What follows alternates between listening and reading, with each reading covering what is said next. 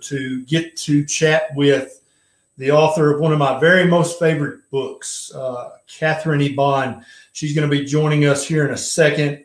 And uh, if you if you take a generic prescription, a generic drug, or if you have a family member or a friend who takes a generic prescription medication, then I think you probably want to hear what Miss Eban has to say. Uh, she's going to be joining me in just a second. If, if your if your mom or your sister-in-law or your next door neighbor takes a generic medication, send them a text or an email, or just go get them by the hair of the head and drag them in front of the monitor, because I promise you they want to hear what this uh, the right honorable Katherine Eban has to say. She's going to be joining me here in just a second. Hey guys, tell me where where in the world are you watching from? What city? What state? What country? Last time we did this, we had people from Australia and Cambodia and Norway watching. So I always love seeing where you're watching from. Tell me where you're at. I hope no one is, has lapsed into clinical insanity from the social isolation.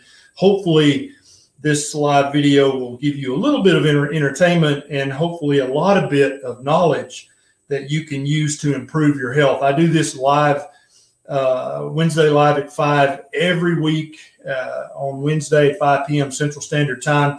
I'm thinking about adding an extra Monday live at 5. Uh, tell me what you think about that in the comments. If you'd like for me to do this two days a week, I don't mind at all. I enjoy talking to intelligent, articulate people. All right, let me see if I can get our guest to join us. Katherine, can you hear me? Uh, I can. Hi, how are you? Hi. Hi, guys. You don't know this, but the backstory is uh, Katherine and I have been trying to get this together for months. I've been I've been biting at the bit trying to introduce you to her, and uh, one technical difficulty, and then a, the small matter of a virus, and it kind of got put put on the back burner for a minute. But here we are, finally. Katherine Eban, the the author of Bottle of Lies. And this is her, her book, Bottle of Lies, is my second favorite book that has lies in the title. I'm not going to tell you what my favorite is. Uh, Katherine, it's such a such a pleasure to have you with us. Uh, tell the listeners who hopefully they've already, they've already read your book, but if not, tell us a little bit about you and why we should yeah. care about what you discovered. Yeah. So um, I'm an investigative journalist. Uh, I'm based in New York. And um, I spent a decade um, reporting on problems that patients were having with generic drugs, side effects, uh, relapses, um, a feeling that they had been stabilized previously, then they were switched on their medication and were not getting better.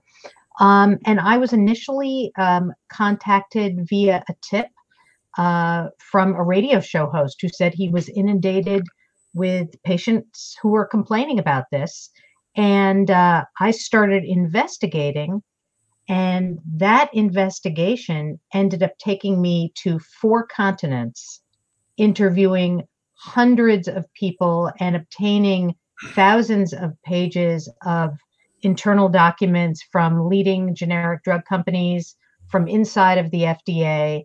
Uh, and I was ultimately able to put together this really incredible story about endemic fraud in the distant generic drug plants that we all rely on. I mean, that's really for for starters right out of the gates. That's one of the surprising things about this, which is we are largely dependent on manufacturing plants in India and China that make our low cost medicine. Uh, 90% of the drugs that Americans take are generic. Um, 40% of the, the finished doses come from India, and 80% of the active ingredient in all our drugs, brand or generic, come from overseas. Yeah. And during the, the first few years of my practice was there were still lots of name brands. Generics were starting to become a thing but they they weren't. But then later in later years of my practice, I, I was able to manage almost all my patients almost all the time mm-hmm. with a generic option, which saved right. them hundreds of dollars a year. And back then, before I read your book, I thought I was doing a great thing by basically giving my patients what I assumed yeah. was equivalent to the name brand medication. Uh, now looking back, obviously, you know, I, I, was trying. I was, I thought I was doing a good job, but obviously, that probably, I mean, I, there wasn't another option because if I prescribed the name brand, they couldn't afford it, so they just weren't going to take it.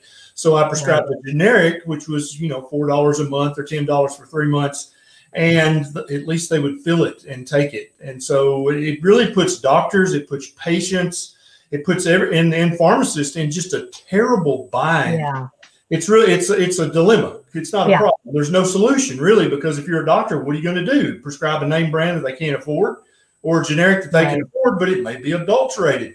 And so uh, so you you took on this challenge, and this had to be stressful. This had to be a it, little bit crazy. I mean, it was crazy. You know, I when I started down this road, I had no idea that I would be essentially investigating the Indian generic drug industry, which is where my investigation did lead me. I mean, when I started out, I was looking into patient complaints, I was interviewing doctors. Um, and what I found was a very sort of porous set of regulations that the FDA uses to evaluate the quality of generic drugs. Um, it is relying on company data. It's relying on inspections at overseas plants that they announce month months in advance, so the plants know they're coming and get prepared.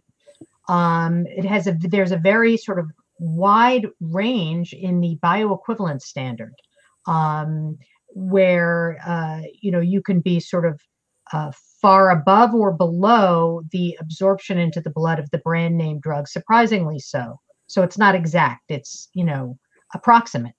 Um, but what really stunned me was the extent to which these generic companies are gaming the system. They are altering laboratory data to make their drugs appear compliant when they are not. Um, you know, so I have in, I interviewed whistleblowers um, and uh, you know just hundreds of people to put together this book, Bottle of Lies, and in it the central character, the story I tell, is of a whistleblower who ended up bringing down India's largest drug company. Yeah, and as a and so as a doctor, as a pharmacist, as a mm-hmm. patient, you, we would just we just assume that the FDA's got their eyes on everything, and that the AMA or the uh, the American Pharmacists Association is watching all this mm-hmm. stuff, and they're probably testing every batch, you know, to make sure that everything's okay. Turns out That's actually not the case at all. The, yeah. But effectively, what they were doing was, uh, and all the small business owners out there, wouldn't you love this setup? They said, "Hey, we're just we just want you to self-report on yourself." Yeah. And every now and then we will investigate your your facilities, but we're going to give you a, a, month's heads up before we yeah. come. That's right. Anybody anybody see a problem with that? Because that I mean, you know, it's yeah, a small business owner be like, yeah, I'll take that bet. Sounds great you know, it's really surprising. I mean, most people assume that the FDA is testing the drugs it approves, and actually, that is not the case. They do not have any systematic testing program uh, for the drugs they approve. Now, what? Just hold on. I want you to say that again. Everybody, listen very carefully to yeah. this. Yeah, yeah. So the way that they figure out is a drug okay for every all of us to take is they um, review data provided by the company.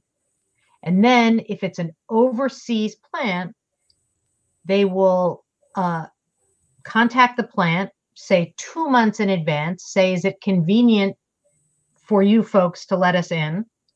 And they set a date. And really, under the way the system is structured, the FDA investigators uh, wind up as the invited guests of the plant. And then the FDA further invites um, the companies in question to arrange ground transportation uh, and local travel and hotel accommodations for FDA investigators.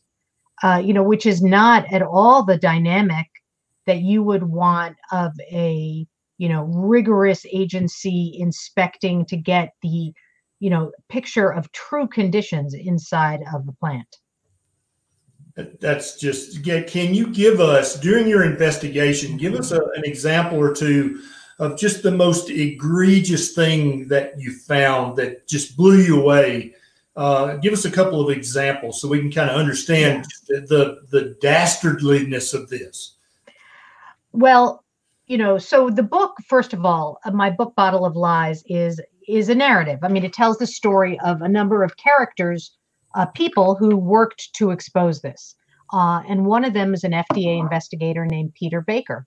And the book opens with, and not to give too much away, but um, opens with an inspection he makes at a uh, Indian drug plant that makes sterile injectable pharmaceuticals for the US market. So, for example, uh, adenosine, if I'm saying that correctly, which is an injectable cardiac drug. Um, he he finds a, a, a, plant employee trying to smuggle out a garbage bag of documents and actually chases him down the hall. So it's a it's a low speed chase scene inside a sterile pharmaceutical plant. So they're um, both wearing their spacesuits, and one's chasing the other yeah i mean it's just crazy and he retrieves the bag and in it he finds um, batch records that have been shredded. And those records indicate that there were metallic particles in vials of insulin which the company ended up clearing and shipping to patients even though they knew the drugs were adulterated and dangerous for humans um, and it turned out that that the plant was manufacturing in a sort of hidden area of the plant. That was the real area where they were making these pharmaceuticals with um, equipment that had been corroded and not repaired. Uh, and and that was also where they were making some of the injectable drugs for the U.S. market. Wow. You know, wow. yeah. yeah. Yeah. And before any of you guys out there in the U.S. get carried away, this this is not uh, a conspiracy for, by the Indian big pharma manufacturers. They're they're sending these drugs to every country, and in fact, according to Katherine Eban's book "Bottle of Lies," countries that have less regulation than the U.S. are actually getting even worse quality. Yeah. Medications and as a generic. Is that right? Yeah. So this was this was a very um, this was a very troubling thing that I uncovered, which is that these uh, plants routinely do something called dual track production. Um, what that means is they make one level of quality for the more regulated markets and lower quality for the less regulated markets, which essentially amounts to a manufacturing standard of whatever they can get away with. So, you know, if if a batch does not um, uh, qualify for you know if if it's been um, somehow contaminated in some way or it's deemed to be ineffective or the doses are out of specification it's supposed to be destroyed under good manufacturing practices. But that rarely happens because there's usually a market where they can dump these drugs where they won't be caught. And that's a calculation that is routinely made um, but there's a really terrible consequence of that. I mean, of course, there is a terrible consequence for patients in the less regulated markets that are taking these drugs. But there's there's also a consequence for all of us, uh, which is that these public health researchers are now linking these uh, the you know the big prevalence of these substandard generics, linking them to drug resistant infections, right? Because if you're think about it. If you're underdosing a continent of people with poor quality drugs right then then all the you know bacteria and the infectious diseases you're trying to you know stop and stem are basically strengthening. And that is ultimately impacting all of us. Um, so you know there is a very major public health consequence to the to the practice of dual track production. It's quite perilous. So I had even as a doctor, I had always assumed that the FDA probably pulls every 50th mm-hmm. container ship or something and does some spot checking uh, to make sure that what is going to wind up on the, mm-hmm. the, prescription bottle is actually what's in the pill or the capsule. And you're saying, to your knowledge, that doesn't happen. No, it does not happen. I mean, there is no systematic program of random testing. So when all these drugs and these huge cargo ships are shipped into San Francisco or New York or Miami, there's no FDA agent there who's like, okay, let me have that box. I'm going to do a spot check. That that literally doesn't happen. Right, that doesn't happen. That doesn't happen on a routine basis. You know, drugs are tested if there's a whistleblower, if there's something specifically they're investigating or that they deem to be wrong, but it does not happen on a routine basis. Wow. So, you know, what the, what this means is that we're our our generic drugs, which are being made thousands of miles away from here, are essentially regulated on an honor system. Company provided data, company organized tours for the investigators, no independent system of verification, uh, which is just nuts. And and to make it even more crazy, um, then there are then there are um, academics who go and you know there aren't many studies, uh, independent studies into um, the quality of generics and how they're performing. But right. I mean, there is, for example, one guy at Harvard who's like, let's see if they're equivalent.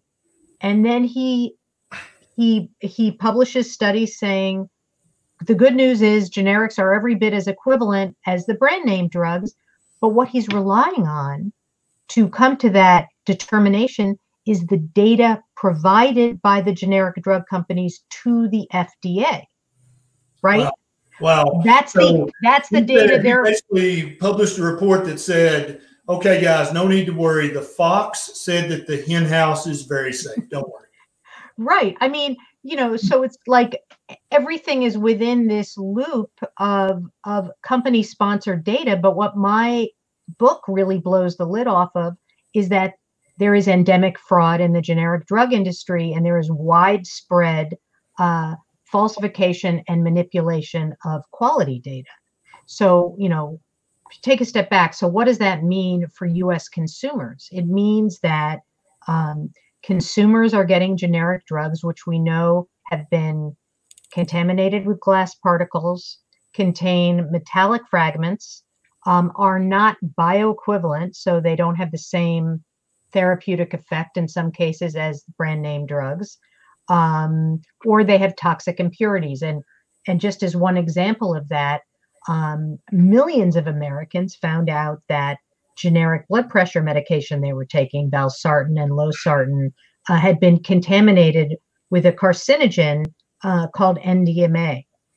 Now, what's incredible about this is that um, one of the big Chinese active ingredient companies that was, um, you know, was found to be uh, shipping out this this uh, contaminated um, active ingredient, an FDA inspector actually went into that plant in 2017, discovered that they were not investigating impurity spikes in their own drugs. So, under good manufacturing practices, you know, the drug makers are required to investigate any quality problems they have and do a root cause analysis and and determine what went wrong so the FDA investigator wrote back to headquarters and said, you know, this is really serious, and I recommend that this plant be sanctioned uh, under what's called official action indicated. It's a notification saying we got to take the most serious steps here. And the FDA bureaucrats downgraded that recommendation. As a result of which, this plant continued shipping this ingredient with a carcinogen in it for a whole another year. Now, I, I know that you may not know the answer to this, but just as a rational, intelligent human, mm-hmm. why would they downgrade that? Was there some reason that that you know of, or if not, I mean, what motivation? Why would you possibly do that? So here is a motivation which I describe in the book, which is the FDA is under pressure from Congress to show that they are approving lots of low cost medicine, right? And that this low cost medicine, uh, because there's drug shortages, there's all kinds of problems, right? There's been no meaningful regulation of brand name drug prices. So there's tremendous political pressure to show that they are approving generics as fast as they can and there's a plentiful supply of these low cost medicines. So the problem is if you impose sanctions on these plants, you are restricting the flow of those drugs, right? Those sanctions have repercussions. You're saying, hey, the plant can't just keep shipping this stuff because we know there's serious problems. We got to stop the flow. Uh, and they're very reluctant to do that.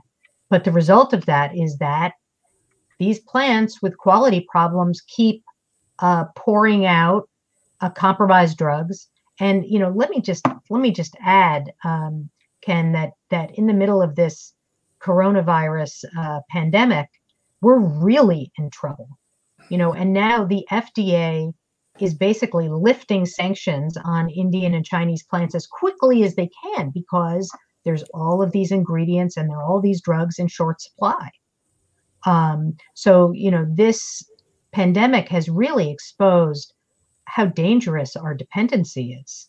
You know? Yeah. And, and so, yeah. again, we're in this dilemma, right? Because we want to get medications to sick patients mm-hmm. as quickly as we possibly can. But the underlying assumption on all this, but from at every level, from the doctor to the to the pharmacist to the patient, is that this pill that I just took out of this bottle mm-hmm. actually contains what it says on the label. Right. And it, it quite possibly doesn't. And and even and even antibiotics. I mean, you talk about that in the book. Mm-hmm. And so I don't know if we know any facts about uh, hydroxychloroquine or any of these mm-hmm. things, you know, zithromycin, but it's entirely possible the same thing could be happening here. And the U.S., the FDA is actually lifting lifting regulations instead yeah. of being more stringent. Yeah. Well, actually, um, uh, a lot has been written about that because they're lifting import restrictions on plants that, where they found data falsification. And so you're saying doing, that that drug manufacturing plants in other countries who have already it's already proven. Oh yeah. That they have been up to this foolishness. Yeah. lifting their sanctions so that they can make drugs for for U.S. citizens and citizens of the world. That's right. Even though we know that they're capable. That's right. Malfeasance. Yeah, that is that is happening as we speak. Yeah. Yeah. Wow. And I will have um I would just say that, you know, if people want to follow me on Twitter at Katherine Eban, I'm going to be I'm reporting on this now and I have a lot more coming out. So um, you know, I got a story in the works right now. Uh, but yeah, this is really like a very, very uh, troubling time for our drug supply. I mean, it's a troubling time, and you know, we are in you know, this is a terrible situation. But just regarding the topic we're talking about, um, this is really dangerous. Yeah, I, that's crazy. So, who exactly is failing us? Is it is it the the? I mean, because you know the the the plant manufacturers. I mean, the managers and the owners. If you can make a cheaper product and charge a higher price, you know, mm-hmm. I mean, still it's unethical. It's it's yeah. illegal, but uh, you kind of get their motivation. But who who is letting us down? Who's not doing their job? Well, I mean, you know, first of all, first and foremost, I would say the FDA is not doing their job. I mean, their job is to ensure that every drug that's on the US market is safe and effective. That's their job. Uh, and, yeah, 100% yeah. agree. And yeah. so it's the FDA who's ultimately responsible yeah. for ensuring that what it says on that prescription bottle label is actually what's in that damn pill. And they're right. just, they're, they literally walked away and they're not doing their job. Right. You know, and I would say another failure here, you know, our political system, we have had no meaningful price regulation of brand name drugs. People can't afford brand name drugs. And that fact has made us so much more dependent on these very low cost providers overseas. You know, so there is a political failure there, there's no doubt.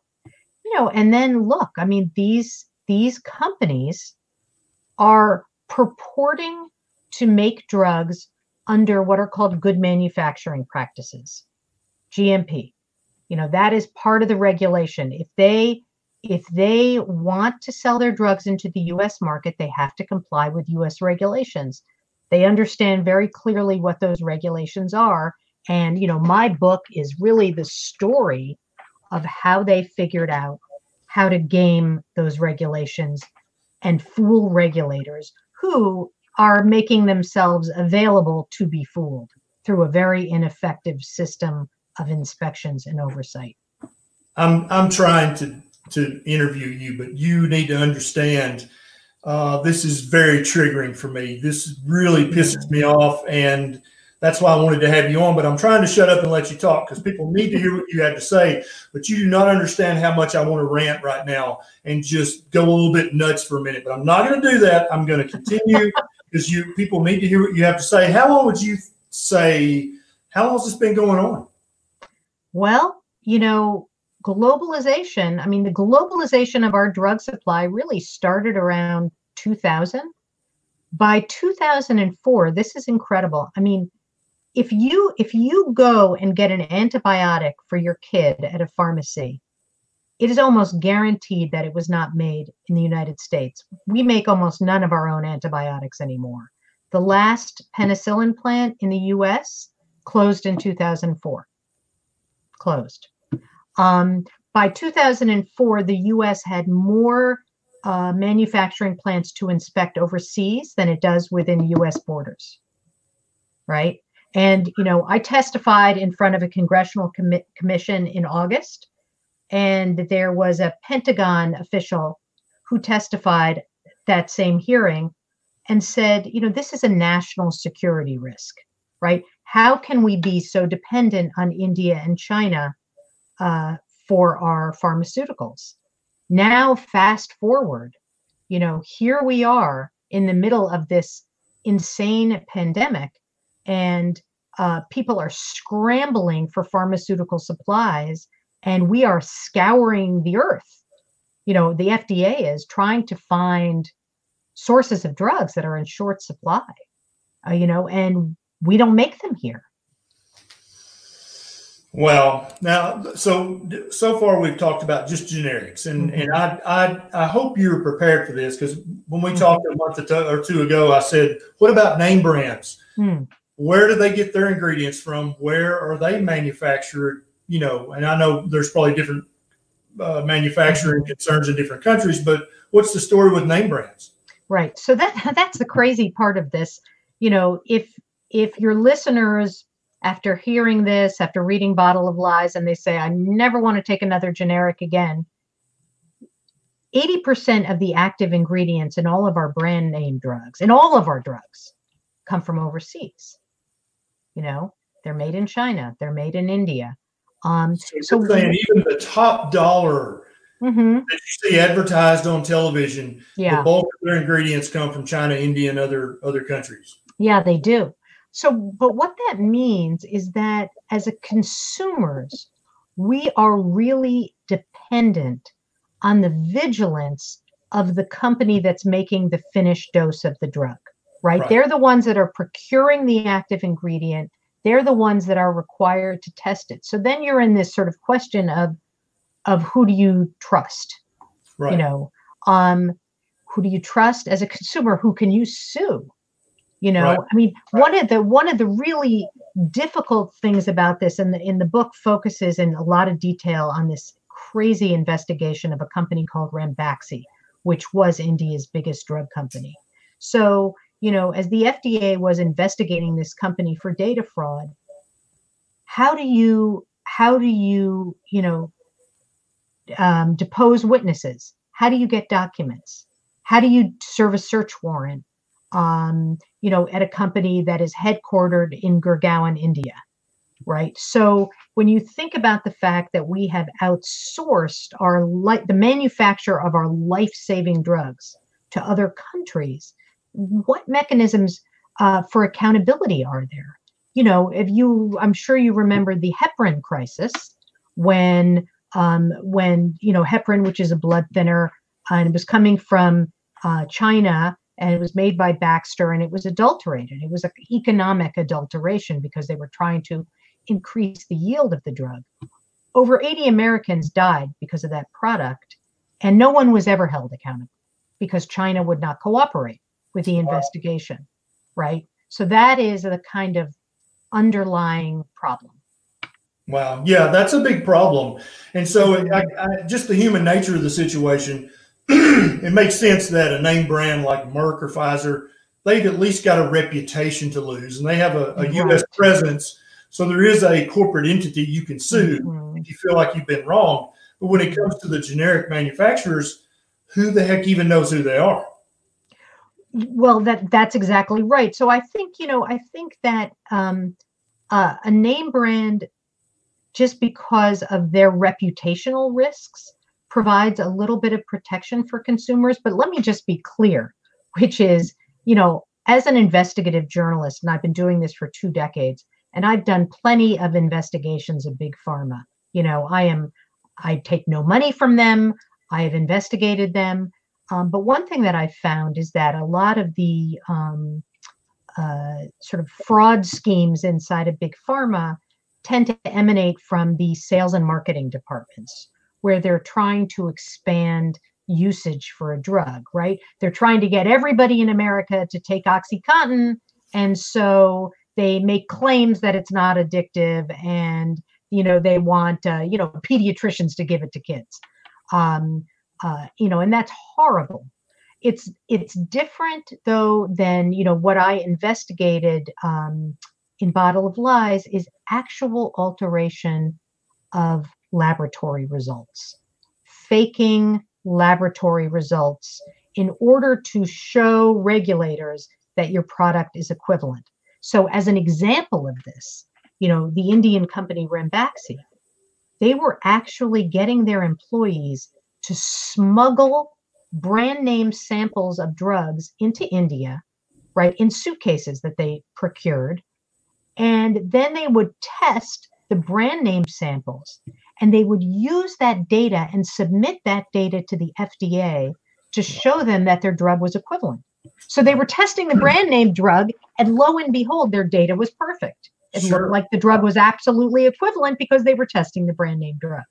Back in my residency training, we were told that a generic drug has to be plus or minus 5%. So mm-hmm. 95% equivalent. That's what we were told by our professors. Mm-hmm. And I'm sure our professors also believe that the FDA actually assured that that was true. I, I don't think any of us had any idea that there was literally no one watching the fox as he guarded the in-house. This is just ridiculous. And I've seen a bunch of comments go by. Guys, we're not telling you to not take generic drugs. No. I'm telling you not to take prescription drugs. That's a conversation right. you need to have with your doctor. Right. But what I feel compelled to do, and obviously what Ms. Eban feels compelled to do, is to tell you the truth of the matter. So at least right. that you're just not you're just not blind and stupid. At least you know what the heck's going on in the world that you currently reside in you know just just to add to that so um, i have a link uh, on my website which actually i should give you ken so you can put up for your listeners. I've got um, your i've got a link to the book and the, okay. your your time magazine article yeah. and your website in the show notes. Okay. So on my website i have a guide to investigating your own drugs. And even though there is no perfect solution to this there are things that a consumer can look at and do to try to respond to this information. So, so listen up, guys. If you're yeah. on a generic medication, here's yeah. how you can change yeah. what's happening to you. Yeah. So number the number one step in that um, is you know if I if I said to your listeners, so you take a medication every month, do you know who made it? I bet you most people don't most people don't actually look at the who the manufacturer is and i think the reason is because the fda has told us that all the manufacturers are the same right that they're all interchangeable any generic they approve is the same as any other the any generic is equivalent to the mm-hmm. brand so the thing is we go to pharmacies every month let's say and you might be switched between different brands of a generic, different versions of a generic, different manufacturers. Many Patients complain about that through the year. Yeah. These Absolutely. don't work like those other ones do. And right. I always thought the patient was just being silly. Always, right. I'm, I'm honest. I admit that I was wrong. Yeah. Until I read your book, I thought, ah, mm-hmm. Just being silly. She thinks the blue pill is better than the white pill. They're all the same yeah. because the FDA assures that. Yeah. And and you know something? I've had so many doctors say that to me. They're like, I feel kind of bad because I thought my patients were just whiners and complainers and now I'll think about it differently you know so the, the number one step is you need to know which manufacturer is making your drug because if it works and you feel fine and you're you're stabilized you want to stay on that manufacturer. But if it doesn't work you want to switch and you can't do any of that unless you know who's actually making the drug. Yep. And, that's, how, and so on your website there's a way that people can kind of tease that out. Yeah and and, yeah. and to walk through the steps. But let me just also say this which is one of the number one questions that i've gotten from readers is how can I know where my drug was made? And right now, you can't. You can't actually know. You can find out the manufacturer, you can find out where their corporate headquarters is, but you can't, it's very hard to figure out where the manufacturing plant is. Um, yeah. So, what I have said, I mean, what is really needed here for consumers is um, country of origin labeling for drugs and drug ingredients, right? um, because how is it that how is it that you can walk into Whole Foods and know where your apple came from, and you can't even figure out where your life saving medicine was made? That's nuts. Yeah. And I mean, we don't expect you guys to go and inspect the factory yourself because even the FDA finds that practice to be troublesome. Yeah, yeah. I mean, it's it's it's incredibly difficult. You know, you can't really. Um, manufacturers always say that where their drugs are made is proprietary information why should that be proprietary information? Why yeah. shouldn't we know? I think if if we implemented that requirement and consumers really began to understand this, you'd see manufacturing return to the U.S. Yeah, is my guess. Yeah, and and there might be a, a the your prescription medication might cost a buck or two more per month yeah. Uh, because of the higher manufacturing right. costs, but at least right. there would be somebody that you could sue if they were adulterating your medicine. Right. And currently, you as a as a U.S. citizen, yeah. definitely you have no legal recourse. Yeah, that, that is. It's not a meaningful legal recourse unless you want to file suits in multiple countries or something. Yeah. I mean, nobody can do that. Yeah, it's it's very very difficult, you know. And our and our government, I mean, you know, there's no we don't have a U.S. attorney in in New Delhi who can, you know, authorize a, a you know a, a search warrant. Uh, so we're really you know we're really flying blind. Yeah, Marlena said she tried to find the source of her meds from her mm-hmm. pharmacist, and yeah. he got mad at her, got frustrated with her. Uh, and and and so I, yeah, I could totally see mm-hmm. I were a doctor and you're like, well, where's this medicine come from? I'd be like, hey, I don't know. Uh, we trust the pharmacist and the pharmacist, yeah. the FDA you know, and, and evidently the FDA is trusting the drug manufacturer in China or India or other countries. So really, it's a it's a it's a Ponzi trust scheme where everybody's trusting the guy upstream, but really at the end, there's nobody who's trustworthy. You know, I think that's really well put. It is. It is a Ponzi trust scheme. Yes, it is. Yeah. So the, the, there's a there's a, a, resource on your website where they can mm-hmm. go and try to tease out yeah. where their prescription drug came from. And then your other advice was if you're on a prescription medication and it seems to be working, then try to yeah. stick with that brand if you can deduce yeah. or introduce which brand you're actually taking. Uh, you know, I had I had a little bit of reservation about talking about this because the average person just sitting at home right now watching this, I mean, we're basically presenting them with information that's scaring the crap out of them, but there's not really anything they can do to change it. And uh, you know, I'm a guy. I like to say, okay, here's the problem, and here's how you fix it. Step one, step two, step three. And yeah. I mean, this is a big deal, and this is one of those call your congressman thing, and and and the FDA none of none of that crap any of us want to do but at the same time this is a huge problem that that the average man and woman walking the street need to know about. Yeah and the other thing i would say you know um super important for doctors to understand this and some doctors do. So that's like a little piece of good news. I have found that doctors particularly who um, who are prescribing narrow therapeutic index drugs so, right. you know, the endocrinologists and cardiologists and neurologists, they understand this because um, very small alterations in dosages can have a huge, you know, impact on their patients' well-being and even their life.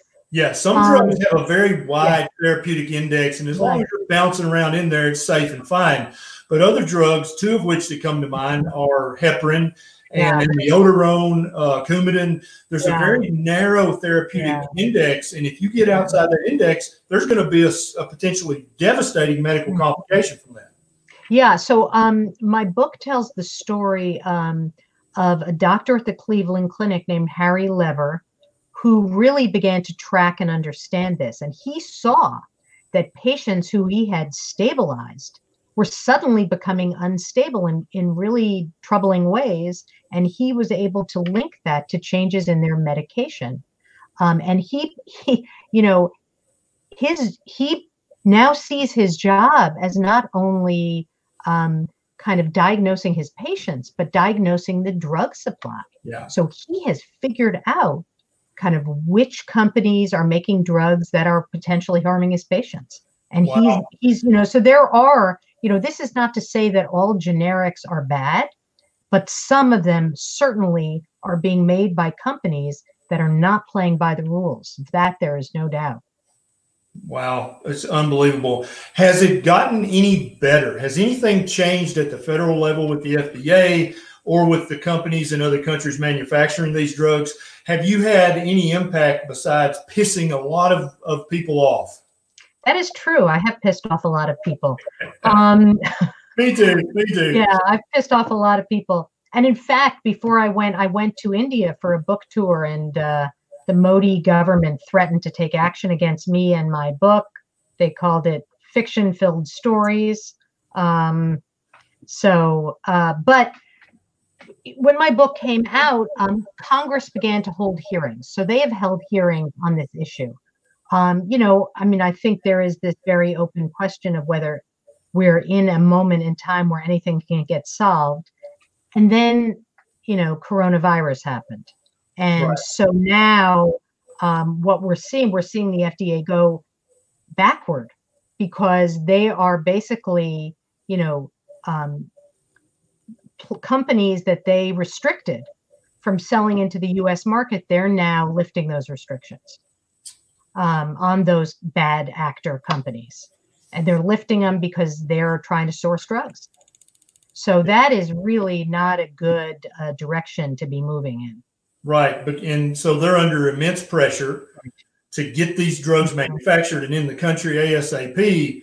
And again, guys, if you missed it the first time, they're actually lifting sanctions on yeah. the literal companies that Katherine talked about in her book who were sanctioned. They're saying, "Oh, just forget that. We need you to make a bunch of azithromycin for us." Yeah, yeah. Um, right. You know, and, and and the concern, the concern is also, you know, there's the immediate concern that this is going to allow substandard drugs into our, our country but the other concern is you're creating a precedent whereby you're saying you're lowering standards. You know? Right. And it's like, how's that going to help us? Right. Um, really, the ultimate solution to this is to make our own drugs. Yeah. Yeah. Yeah. Or at least to have better oversight. I mean, even if the FDA oh. just popped open each container and chose every fifth box yeah. and said, okay, we're going to test this. And if it if it's not, if it doesn't come up to 95% standards, we're sending the whole shipment back. I mean, if they would just do that occasionally, yeah, that that cost of doing business would at yeah. least cause those companies in India and China to step it up at least a little bit, right? Yeah. Oh, absolutely. I mean, you know, it's basically what you're saying is um, we need to create a system with real verification. We've got to yes. get rid of an honor system. Yes. And have a system of real checks. and I understand that it's hugely expensive to send a couple of FDA agents to India to to investigate a plan. I, I could see just that's a logistical nightmare, and they're trying to trick you and take you out mm-hmm. to dinner, and and probably other things too. But at the border, at the border, the FDA could make just random, unannounced mm-hmm. checks of shipments yeah. of goods coming in. And if, if it became known in other countries that they're going to do that, you're going to get caught sooner or later. And then when you get sanctioned, the sanctions actually going to mean something to you financially. It's not going to be lifted a month later when the FDA needs something from you. Yeah. Well, you know, so here's here's something to think about and to wrap your mind around, which is um, why doesn't why don't the big pharmacy chains test the drugs they dispense? You and know, rats, right? I mean, yeah. you know, you've got the, this whole the honor system is all the way down, right? If the FDA says it's okay, then everybody assumes it's okay, and right. nobody checks anything. And all of the big insurance companies require people to use generics. Right. Uh, I just saw a news article today that United Healthcare just they, they just had made five billion dollars in profit because people weren't going to the doctor and and for their routine checkups. But I'll bet you United Healthcare is not going to give everybody a rebate. I bet they're still going to charge you that monthly thing you got to pay every month. But yeah. wouldn't it behoove them since they require their members mm-hmm. to take generics? Shouldn't it? I mean, is there? I wonder if there's some class action recourse of United Healthcare, not just them, but Blue Blue. Oh yeah, all the big uh, insurance agency. Is there some class action remedy that the consumers, the patients can take and say, hey, you forced me to take generic medications for 5, 10, 15, 20 years, and you didn't verify that they were even real medication. Yeah. That's, um, you know, that's a great idea. Like there might be some legal liability there. Yeah, I think that that is a great idea. You know, but the problem is, I think pr- probably at this point they're insulated from accountability because they can say the FDA verified it. Right? That's the problem. But they know better, but they could technically right. say that, right? Because that is the FDA's job. God forbid they actually do that. Right. Wow. You know, so I, I think I, I have concluded that what really what is needed is a consumer revolution. Ah, you know? I like the way you talk. Consumers consumers need to understand this and do something about it. And I'll tell you just this one thought, which is you know, as I was traveling all around the world reporting this book, and I was in India and China and Africa and all over the place, and everywhere I went, I was in taxi cabs, and everybody wore a seatbelt. And I looked at that and I was like, okay, that's a consumer revolution. Everybody understands it, and everybody's wearing a seatbelt. And we need that kind of, we need that big of a consumer revolution here for people to demand quality medicines. You yep. know? Yep. Absolutely. And yeah, the the class action lawsuit idea just came to me. That yeah. happens to me often when I'm in the heat of the moment. But I mean, a couple of threats of that, and I'll bet you magically that, that Blue Cross yeah. Blue Shield and Aetna and Cigna and United Healthcare would say, you know what we're going to start doing to protect our members Right. Uh, translation, protect our, our financial ass. We're going to yeah. start randomly testing these generic drugs that we've been making you take take for the last 10 years yeah. because we care about you. Yes, absolutely.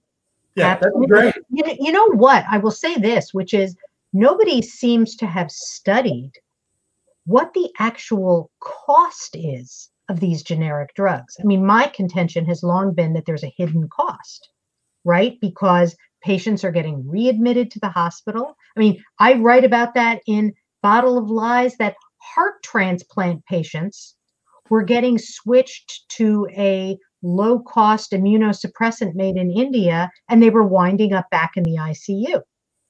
So, if you had some real studies which showed that there was a hidden cost to this low cost medicine, I think the insurers might get with the program pretty quickly. That's a great idea. I love that. I love that because if you're going to be raking in billions of dollars of profit, yeah, uh, you better damn well be accountable to these people that you say you care for. Yeah, absolutely. Yeah, yeah I love that idea. Any any closing thoughts, Katherine, that that you'd like to leave people with? Anything about your upcoming projects or anything at all? Well, yeah, sure. Um, so the paperback for Bottle of Lies comes out now. It's going to be in toward the end of June. Um, I have a TED Med talk, which is all about this, which is going to come out probably Beautiful. around the same time. Um, you know, I'm going to be writing about the federal response to this outbreak as it goes along. Um, and, you know, I just, I would urge consumers to educate themselves, to pay attention to what they're taking, you know, to get some knowledge on this topic, uh, to really be able to better protect themselves. Yeah, I love that. I love that. Well, thank you so much for this book. It's uh, I, I do a lot of reading, and I've listened to your book on Audible three times.